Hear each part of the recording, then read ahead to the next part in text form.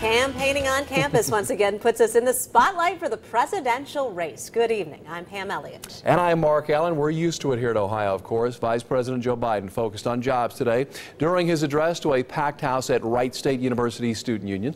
This was Biden's third trip to Ohio just in the past two weeks. He first today paid tribute to the four Americans killed in Libya, including our U.S. ambassador. Mr. Biden then transitioned to the domestic issues at the heart of this election, making his case for why the Democrats, in his opinion, are the best choice for the Miami Valley, and it's centered around jobs. Since we've come to office, 500,000 good paying manufacturing jobs have been created, more than any time since the early 90s. And they say manufacturing is dead. Not as long as we're around, it's not dead.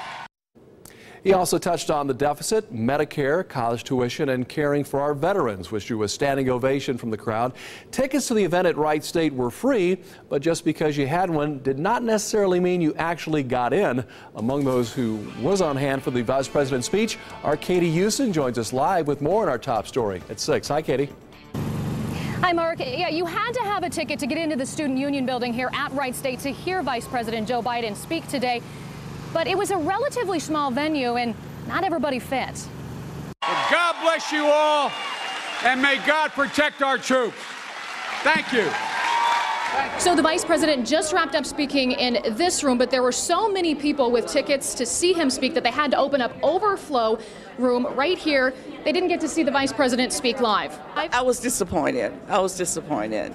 But, you know, we were there, we were in there cheering, and just like they were in the other room. Uh, maybe a little let down, but uh, it was fine. We had good, comfortable seats. They say they still liked what they heard, though. I like the way the Obama uh, campaign is being run to help the middle class and to help the poor. I love that he talked about Medicare. I'm getting at that age, so this is something I know is in my future. The Fairborn Fire Marshal says safety first. About 900 people inside reached capacity, so 100 more watched on TV screens across the way.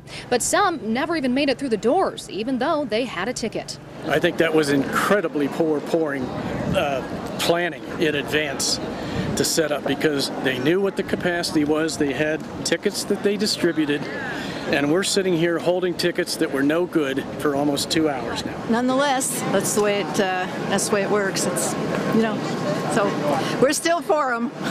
you know. My sincere apologies to them for not being able to get in. I, I, appreciate the effort they made to get here. And, I... and some didn't want a seat at all. Protesters across the street made their voices heard outside as the vice president spoke inside. So GM uh, is alive? I don't think so. GM bailout?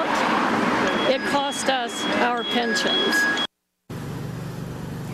I spoke with the Obama campaign about those people who didn't get in to see the vice president speak. They tell me they are sorry about that, but they say they're excited to see that the enthusiasm that they say that shows for the ticket here in the Miami Valley. And they encourage people attending future rallies to arrive even earlier because they say they will be back here in the Miami Valley. We should also note that both VP candidates in Ohio today, Paul Ryan is speaking this evening in Clermont County.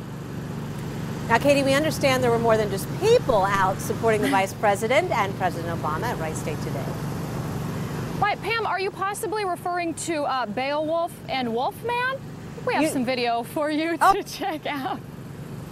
So uh, the dog owner is, his name is Michael Gilbert. He's a U.S. veteran. This is his service dog. The dog also works with children who have autism. Gilbert, also a dog trainer, so the dog was very well behaved. But he says he dresses him up in Obama gear. He says everybody loves dogs, so it's a great conversation starter. He says he's starting the first Barack canine pack, and he is looking for people to join. He says he has more presidential pup gear. So Mark and Pam both man and beast getting involved in this uh, hotly contested presidential election. Reporting live at Wright State University, Katie Houston, 2 News.